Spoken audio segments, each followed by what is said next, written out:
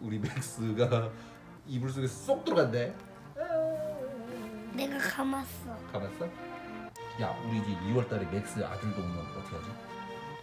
사고 사고 뭉치잖아 둘 다. 아빠 나한테 그 파란색 어 맞아 맞아. 그거 이거, 쓰면 이거, 되지. 얼굴 묻는 거 이거를? 창피해서? 어? 아니 따뜻하니까. 으, 나는 창피하다고 그렇게 부르지. 어 들어갔다. 응. 안돼. 어, 도망났다. 맥스 일로 와. 맥스 일로 와. 맥스. 자. 맥스. 맥스 일로 와.